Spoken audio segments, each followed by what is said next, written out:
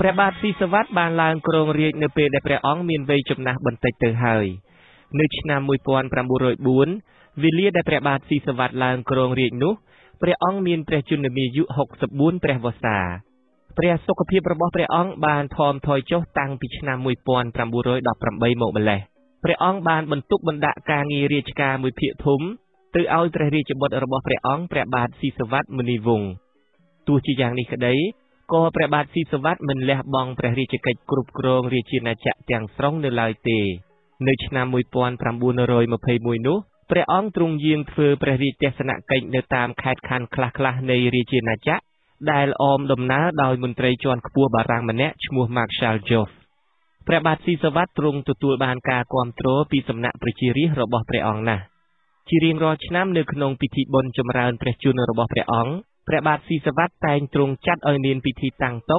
នៅក្នុងបរិវេណព្រះបរមរាជវាំងក្រុងភ្នំពេញដែលជាពិធីមួយប្រមូលផ្ដុំមនុស្សម្នាពីគ្រប់ទិសទី មកចូលរួមទស្សនានិងថ្វាយព្រះពរដល់ព្រះអង្គផង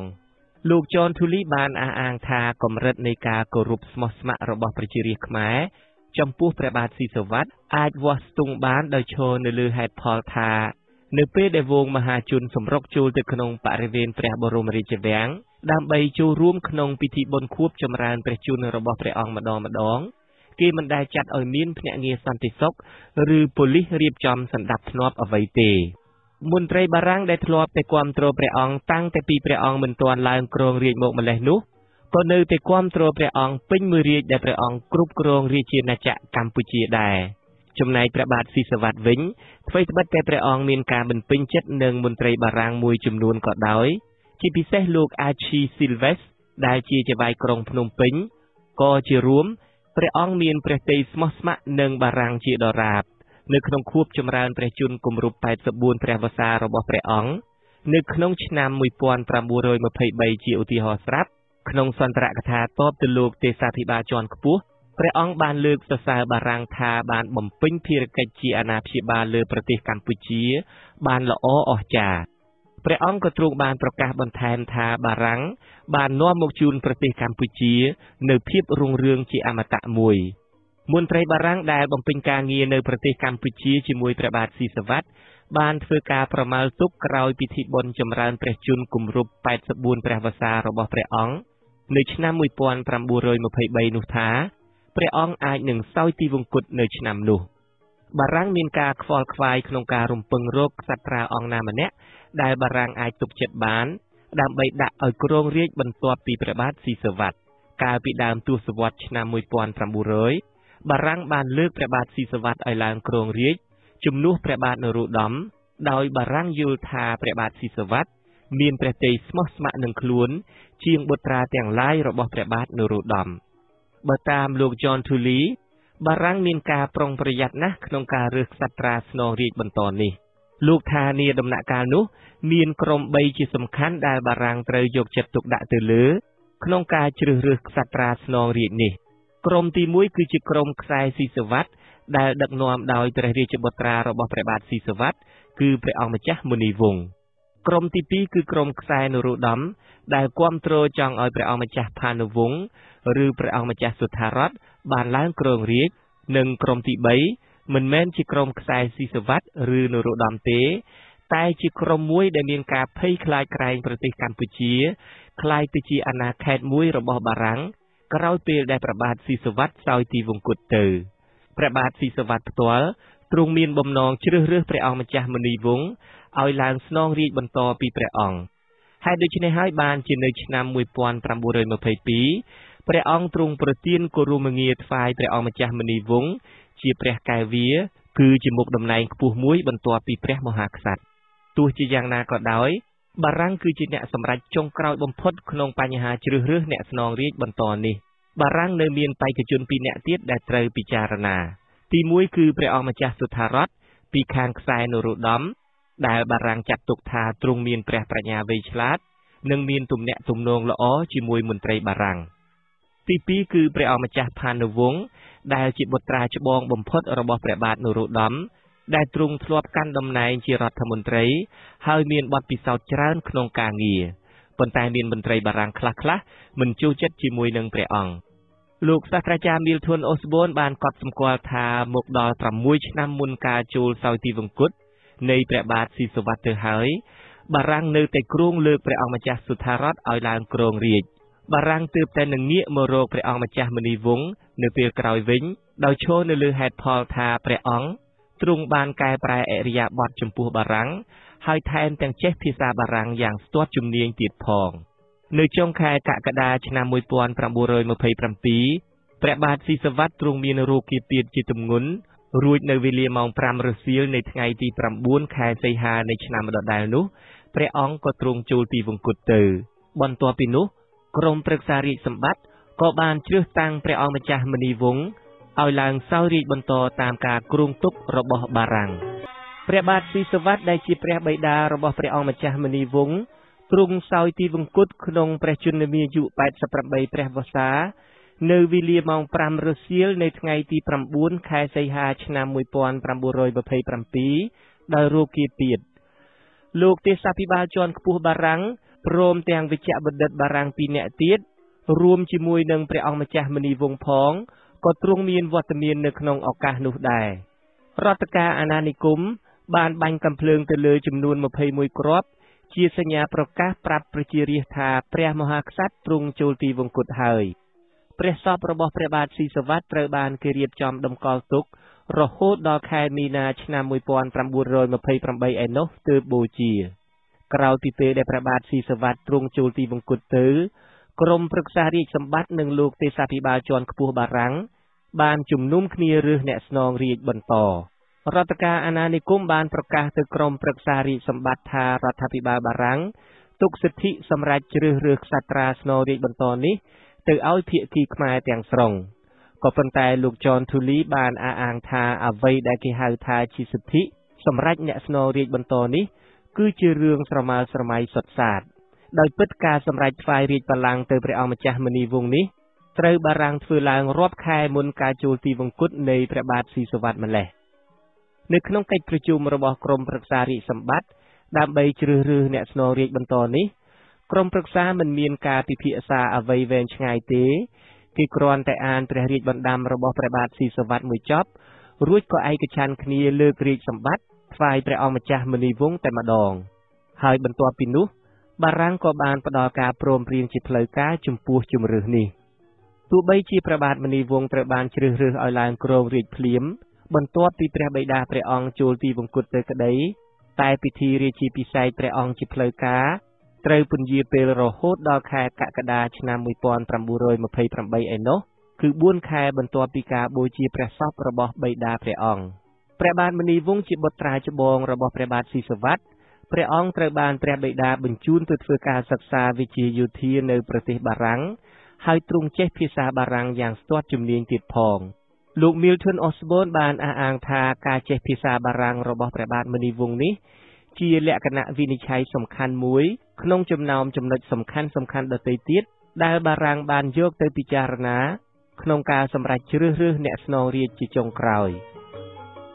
ព្រះអង្គទ្រង់បន្តការថែរក្សាចំណងតាក់ទងជាមួយមន្ត្រីបារាំងបានល្អស្ទើរពេញមួយរជ្ជកាលនៃការគ្រងរាជរបស់ព្រះអង្គគឺរហូតដល់ឆ្នាំ1940ដែលជាដំណាក់កាលចុងក្រោយបំផុតនៃរជ្ជកាលរបស់ព្រះអង្គទៅហើយទើបព្រះអង្គមានការថ្នាំងថ្នាក់នឹងពួកបារាំងដែលបានចុះសន្ធិសញ្ញាជាមួយជប៉ុនព្រមព្រៀងប្រគល់ខេត្តខ្មែរភាគខាងលិចមួយចំនួនទៅឲ្យសៀមនៅចុងរាជរបស់ព្រះបាទមុនីវង្ស ពលគឺនៅឆ្នាំ1939សង្គ្រាមលោកលើកទី2បានផ្ទុះឡើងបារាំងនិងអាល្លឺម៉ង់បានក្លាយទៅជាសម្ព័ន្ធមិត្តនឹងគ្នា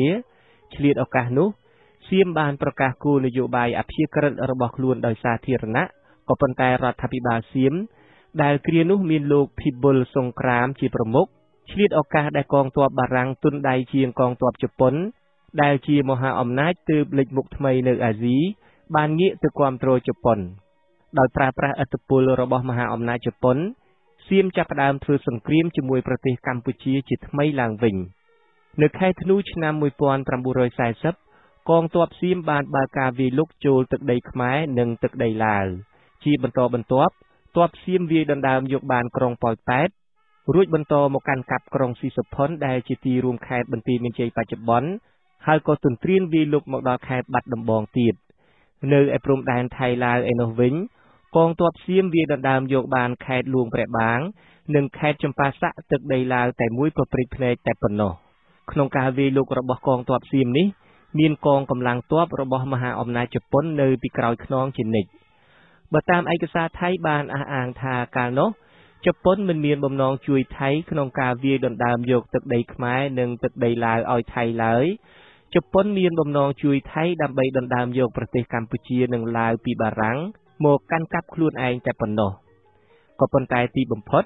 ជប៉ុនត្រូវចាញ់ល្បិចនយោបាយរបស់ថៃដោយត្រូវថៃខ្ចីដៃឲ្យជួយវាយដណ្ដើមយកទឹកដីខ្មែរនិងទឹកដីឡាវឲ្យសៀមទៅវិញនៅថ្ងៃទី11ខែមីនាឆ្នាំ1941សន្ធិសញ្ញាបារាំងសៀមមួយត្រូវបានចុះហត្ថលេខានៅក្រុងតូក្យូប្រទេសជប៉ុនយោងតាមសន្ធិសញ្ញានេះបារាំងសុកចិត្តប្រគល់ខេត្តខ្មែរ3ទៅឲ្យសៀមកាន់កាប់មានខេត្តបាត់ដំបង ស៊ីសុផុននិងសៀមរាបតែដកតំបន់ប្រាសាទអង្គរចេញព្រោះបារាំងជាប់និស័យខ្លាំងណាស់ទៅនឹងប្រាសាទបុរាណខ្មែរទាំងនោះចំណែកទឹកដីឡាវវិញសន្ធិសញ្ញាបារាំងសៀមនេះបានប្រគល់ខេត្តឡាវ2គឺខេត្តឌួងព្រះបាងនិងខេត្តចម្ប៉ាស័កទៅឲ្យសៀមកាន់ព្រះបាទមុនីវង្សត្រូវបានអ្នកប្រវត្តិសាស្ត្រមួយចំនួនចាត់ទុកថាជាព្រះមហាក្សត្រមិនសូវបានយកចិត្តទុកដាក់នឹងកិច្ចការរាជការប៉ុន្មានទេព្រះអង្គទ្រង់ជក់ព្រះទ័យទៅនឹងព្រះមហេសី និងស្រីស្នំដ៏ច្រើនលើសលប់ទៅវិញក្នុងចំណោមស្រីស្នំសំណប់ចិត្តរបស់ព្រះអង្គម្នាក់ជាបងស្រីបង្កើតរបស់សលុតសដែលក្រោយមកក្លាយជាមេខ្មែរក្រហមផុតកំពូលម្នាក់ដោយបានបដូរឈ្មោះទៅជាប៉ុលពតគឺដោយសារទំនាក់ទំនងរបស់បងស្រីគាត់ជាមួយព្រះបាទមុនីវង្សនេះហើយដែលប៉ុលពតត្រូវបានបងស្រីនាំយកពីខេត្តកំពង់ធំឲ្យមកស្នាក់នៅនិងរៀនសូត្រឯក្រុងភ្នំពេញ នៅដើមរាជរបស់ព្រះបាទមុនីវង្សក្នុងកំឡុងដើមទសវត្សរ៍ឆ្នាំ1930កម្ពុជាជួបប្រទះនឹងវិបត្តិសេដ្ឋកិច្ចចំណូលពីការប្រមូលពន្ធបានថយចុះចំនួន45%នៅឆ្នាំ1931ហើយចំនួននេះបានធ្លាក់ចុះដល់ជាង60%នៅឆ្នាំបន្ទាប់លោក David Chandler បានធ្វើការកត់សម្គាល់ថាទោះបីជានៅពេលដែលការងារកសិកម្មបានថយចុះក៏ដោយ ក៏កសិករមិនសូវនាំគ្នាមកតាំងលំនៅនៅក្រុងភ្នំពេញ ដែលទើបតែនឹងពង្រីកនិងធ្វើទំនើបកម្មថ្មីដែរកំណើនប្រជាជននៅក្រុងភ្នំពេញមានចំនួនតិចតួចទេ គឺពី96000នៅឆ្នាំ1931ទៅជិតដល់100,000នាក់តែប៉ុណ្ណោះនៅឆ្នាំ1936លោក David Chandler ក៏បានបន្តថានៅក្នុងដំណាក់កាលនោះក្រុងភ្នំពេញហាក់ដូចជាត្រូវបានបែងចែកជា3តំបន់រស់នៅ ទៅតាមជនជាតិដើមរបស់អ្នកតាំងលំនៅទាំងនោះ។គឺពួកវៀតណាមនិងចាម ចូលចិត្តរស់នៅប៉ែកខាងជើង ពួកចិននិងបារាំងរស់នៅតំបន់កណ្ដាលដែលជាមជ្ឈមណ្ឌលពាណិជ្ជកម្មចំណែកជនជាតិខ្មែរវិញចូលចិត្តរស់នៅភាគខាងត្បូងនិងភាគខាងលិចនៃព្រះបរមរាជវាំងត្រើយម្ខាងនៃទន្លេមេគង្គក្នុងគោលបំណងបង្កើនចំណូលពន្ធដារនៅឆ្នាំ1931 បារាំងបានស្នើដល់ព្រះបាទមុនីវង្ស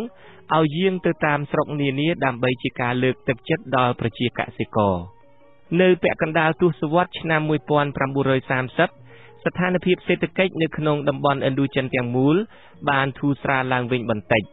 ប្រទេសកម្ពុជាមានលទ្ធភាពនាំស្រូវចេញ ជាពិសេសផលិតផលស្រូវពីខេត្តបាត់ដំបង បានប្រមាណ1សែនតោនក្នុងមួយឆ្នាំលើផ្នែកគ្រប់គ្រងរដ្ឋបាលវិញ គេសង្កេតឃើញមានការចូលរួមកាន់តែច្រើនឡើងពីសំណាក់មន្ត្រីជាតិខ្មែរនៅក្នុងឆាកនយោបាយនិងរដ្ឋបាលស៊ីវិលលោក David Chandler បានអះអាងថាលោកញឹកជូឡុងលោកលន់ណុលនិងព្រះអង្គម្ចាស់ស៊ីសវត្តសេរីមតៈសុទ្ធតែបានចាប់ផ្ដើមជីវភាពចូលប្រឡូកក្នុងការងារនយោបាយនិងរដ្ឋបាលរបស់ខ្លួនក្នុងដំណាក់កាលនេះ សមិទ្ធផលសំខាន់សំខាន់មួយចំនួនដែលសម្រេចបានក្នុងរាជព្រះបាទស៊ីសវត្តរួមមានការស្ថាបនាផ្លូវរថភ្លើងទី1ពីភ្នំពេញទៅប្រទល់ដែនសៀមដោយកាត់តាមខេត្តបាត់ដំបងហើយដែលត្រូវបានស្ថាបនាឡើងនៅគ្រិស្តសករាជ1932ផ្លូវនេះមានប្រវែង275គីឡូម៉ែត្រក្រៅពីនេះស្ពានធ្វើពីបេតុងជាច្រើនក៏បានស្ថាបនាដែរជាពិសេសស្ពានដែលឆ្លងកាត់ទន្លេបាសាក់ប្រវែង292ម៉ែត្រ ហើយដែលមានឈ្មោះថាស្ពានមនីវង្សត្រូវបានសម្ពោធនៅថ្ងៃទី18ខែវិច្ឆិកាឆ្នាំ1928ក្នុងវិស័យនយោបាយនិងវប្បធម៌ព្រះបាទមុនីវង្សក៏ទ្រង់បានសាងសមិទ្ធិយ៉ាងសំខាន់សំខាន់ណាស់ដែរដូចជាសភាសម្រាប់ឲ្យយោបល់រួមមួយតាមរាជបញ្ញត្តិថ្ងៃទី18ខែសីហាឆ្នាំ1928ក្រុមជំនុំព្រះត្រៃបិដក ដែលត្រូវបានបង្កើតឡើងនៅថ្ងៃទី14ខែវិច្ឆិកាឆ្នាំ1929ហើយដែលមានភារៈបកប្រែព្រះត្រៃបិដកគឺវិន័យបិដកសុដនបិដកនិងអភិធម្មបិដកសប្តាហ៍នេះគម្ពីរទាំង3ត្រូវបានបកប្រែចប់សពគ្រប់ហើយហើយមានទាំងអស់110ក្បាល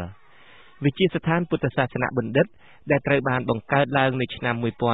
1930ហើយដែលមានភារៈធ្វើការសិក្សាស្រាវជ្រាវ ពីព្រះពុទ្ធសាសនានៅក្នុងប្រទេសកម្ពុជាតែម្ដងមិនចាំបាច់ចេញទៅបរទេសដូចមុនមុនទៀតក្នុងឆ្នាំដដែលតាមរាជបញ្ញត្តិថ្ងៃទី16ធ្នូព្រះបាទមុនីវង្សទ្រង់បានរៀបចំការសិក្សាភាសាបាលី និងព្រះពុទ្ធលទ្ធិក្នុងខេត្តទាំងឡាយនៃរាជាណាចក្រកម្ពុជា ក្នុងវិស័យកសិកម្មព្រះបាទមុនីវង្សទ្រង់បានដាក់ឲ្យបង្កើតផលឡើងវិញនៅដីស្រែដ៏ធំទូលាយ ហើយដែលត្រូវជនជាតិខ្មែរបោះបង់ចោលដោយការភៀសខ្លួនគេចឲ្យផុតពីខ្មាំងឈ្លានពានឬដោយត្រូវចាប់យកទៅប្រទេសសៀមជាឆ្លើយដូច្នេះតំបន់ខ្លះដូចជាត្រពាំងជងក្នុងខេត្តពោធិ៍សាត់ជាដើមបានคล้ายទៅជាមជ្ឈមណ្ឌលកសិកម្មនិងពាណិជ្ជកម្មមួយយ៉ាងសំខាន់នៅឆ្នាំ1930ព្រះអង្គទ្រង់បានប្រកាសឲ្យប្រើរាជបញ្ញត្តិដែលបង្កើតធនាគារសម្រាប់ផ្ដល់ឥណទានឲ្យកសិករនៅខេត្តបាត់ដំបងព្រៃវែងនិងកំពង់ចាម ព្រះបាទស៊ីសវត្តទ្រង់សោយទីវង្គតនៅរាត្រីទី22ខែមេសា ឆ្នាំ1941នៅក្នុងដំណាក់បូកគោក្នុងព្រះជន្មាយុ65ព្រះវស្សា